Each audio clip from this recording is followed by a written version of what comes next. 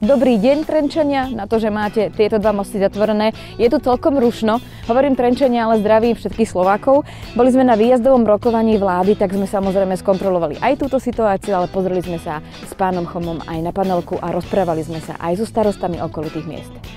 Tak videl som teda to, že stavba je v pokročilom stave pred dokončením, teda čo sa týka toho úseku, ktorý je bez mostov.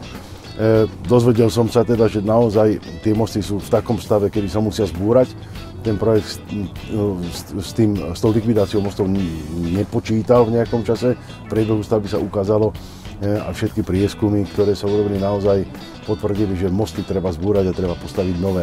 Toto je, toto je to negatívne na tej stavbe, pretože to samozrejme spôsobí predlženie stavby minimálne o rok a bez tých mostov ten úsek nemôže jednoducho fungovať. Čiže toto je taká najzásadnejšia a najdôležitejšia vec. Áno, my už len musíme dozrieť na to teda naozaj, aby tie termíny, ktoré sú dnes zrejme, aby boli dodržané. To je naša podstatná úloha. Úlohou ministerstva bude v tejto chvíli ešte naozaj vyhodnotiť aj tú finančnú situáciu a povedať si spolu so štátnou tajomničkou, e, akým spôsobom dofinancovať, keďže stavba je financovaná z fondov, e, tak aby sme tie naviac náklady, ktoré budú možno v výške do 30 miliónov eur, aby sme vedeli nájsť a aby sme ich vedeli stavbe poskytnúť. Iné riešenie, ako dokončiť stavbu čo najskôr neexistuje a preto je úloha zrejma. Najväčší problém je to, že ľudia, samozrejme, keď sú tie mosty vylúčené z prevádzky a keď sa budú búrať, nemajú kade chodiť do práce, nevedia sa hýbať v tomto prostredí, tak ako boli roky zvyknutí. Eh, je fakt, že stavný zákon hovorí o tom, že eh, obce a ľudia musia akoby strpieť tú výstavu.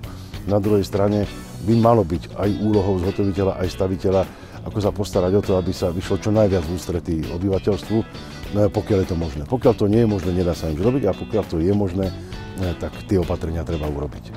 boli sme teda dneska aj v Trenčianskej teplej. Na čom ste sa tam dohodli s pánom starostom? S pánom starostom sme sa dohodli, vnímajú naozaj zložitú situáciu a veľmi hustú a intenzívnu dopravu e, cez Trenčianskú teplu, že treba vyriešiť tento problém. A dohodli sme sa dnes tak, že Slovenská správa ciest veľmi rýchlo naštartuje projekt e, a zhotovenie svetelnej kryžovatky, alebo teda svetel na túto kryžovatku a súbežne bude Slovenská správa ciest pripravovať projekt e, na normálnu, regulérnu kruhovú kryžovatku, tak aby sa do troch rokov pripravila a mohla sa začať jej výstavba.